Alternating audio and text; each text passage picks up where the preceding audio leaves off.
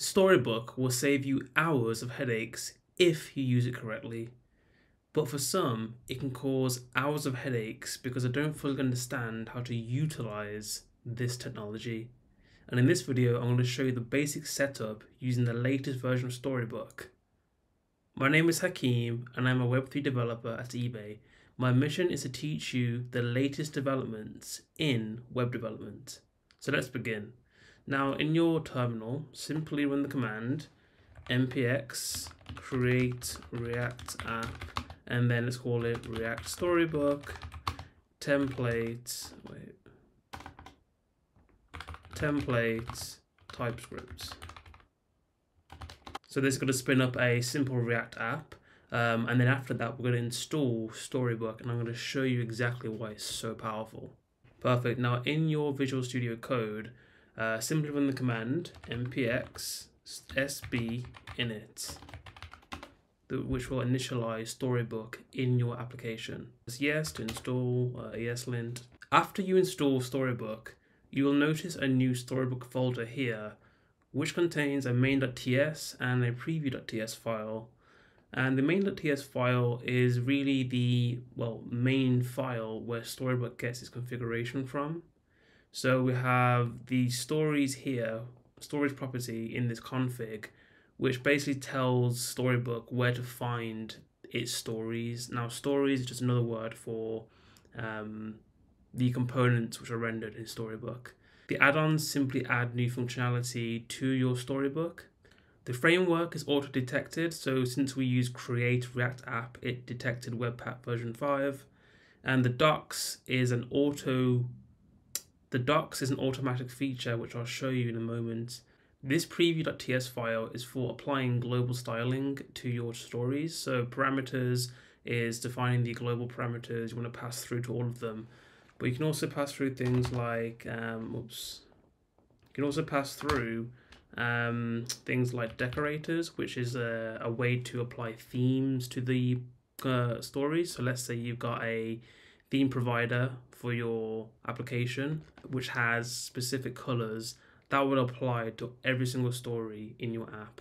Now, what, what I really want to dive into right now is the new stories that have been created. So we have this stories.ts file here. Let's hide this. And as you can see, we have a bunch of stuff that you're probably not too familiar with. But the main things to care about is this const meta variable here, which defines the actual story itself. Each story is represented in this syntax. So you'll have const primary, which is the name of the story, and then you'll pass through the unique args or arguments to that component that you want to see. So let's see what, what this looks like. After I ran the init command, it started up the storybook instance for me. Let's skip the tour and head over to the button. As you can see, it auto-generated the documentation for me. That came from this flag up here, AutoDocs which does it for you. And there's different scenarios for this button. So there's a primary color one, there's a secondary color, there's a large size and a small size. Now this is a very basic situation of why Storybook is so powerful. But what if this button had more states? So maybe it has a loading state or a disabled state, which you want to make sure that the disabled state of the button has zero functionality. Maybe the button has an icon on it somewhere, which you want to render. Again, there's so many different ways you can use Storybook to see this. So let's go back. Storybook allows you to view and test your components in isolation. So how would you do this without Storybook? Well, typically you could do something like, um, let's head over to app.tsx. Let's get rid of all this code here. Let's import the button and then let's start the app again. Actually, I think it's npm run start. So you could test this manually by starting the app, having a page that has minimal styling. But as you can see, even this one has some styling applied to it. What if I want to test through every single scenario? As we saw in the Storybook instance, you can just pass through the specific arguments without Storybook to do that.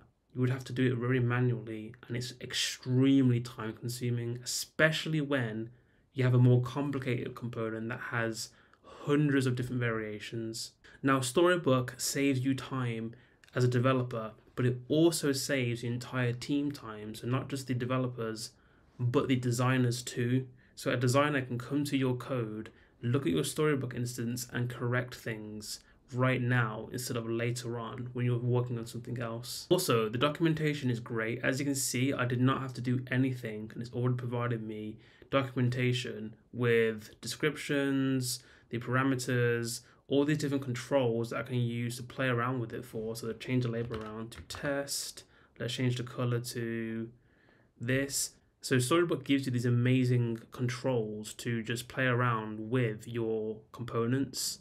Now, Storybook is not just for singular components. Storybook can create stories for pages too, not just components. As you can see, we have a logged out state here. So the only thing that would change would be the header. So if we go to logged in, there we go. Now in the code, what you just saw was this page component here, and it also works with use state as you can see. So when I logged in and logged out, that was actually using the state. Now the story itself is this here, and it looks very small. There is a way we can improve this, however. Most pages, or all pages, rely on API data, right? So we call an API, return some data, and perhaps there's multiple API calls.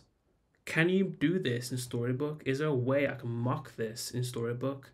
Well, there is. And in, in the next video, I'm going to show you exactly how to set up Storybook with something called mock service worker. That's all for now. Thank you so much for watching, and I'll see you guys soon.